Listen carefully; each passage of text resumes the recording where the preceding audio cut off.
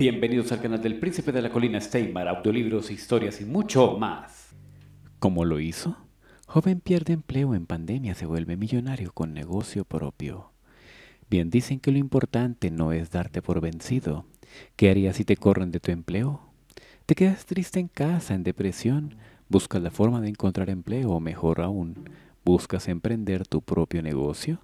Así le sucedió a un joven que fue despedido de su trabajo en medio de la pandemia por COVID-19. El ahora empresario emprendió su propio negocio. Los resultados fueron exquisitos. Generó un millón de dólares, más de 19 millones de pesos, en tan solo 10 meses. ¿Cómo lo hizo? Utilizó una computadora, teléfono e internet para hacerlo posible. Te contaré la historia.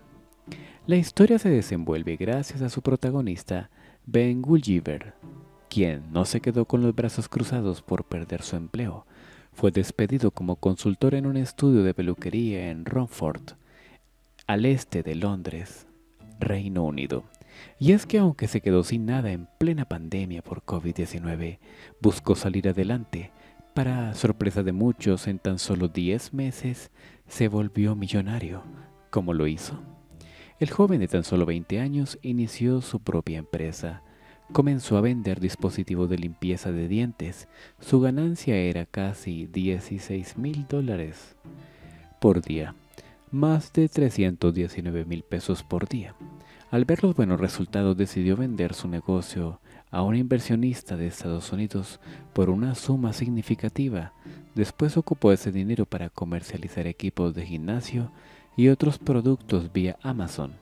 Con gran éxito, el joven ha logrado ganar en su mejor mes por sus ventas hasta 275 mil dólares al mes, más de 5 millones de pesos, y aunque en un inicio el joven laboraba desde el garaje de sus padres, ahora en el crecimiento de su negocio abrió una oficina en Bewley.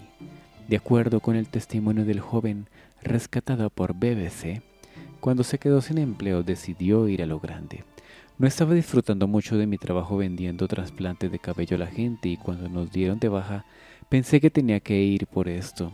Comencé a investigar en YouTube para ver qué proyectos comerciales podía hacer.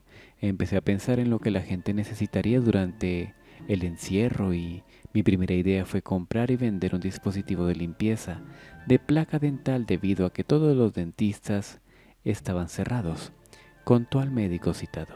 Después, seguí vendiendo equipos de fitness porque la gente hacía más ejercicio desde casa con los gimnasios cerrados.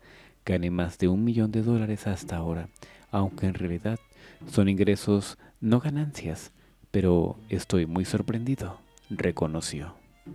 Así que ya saben chicos y chicas, querer es poder, todo es posible en esta vida.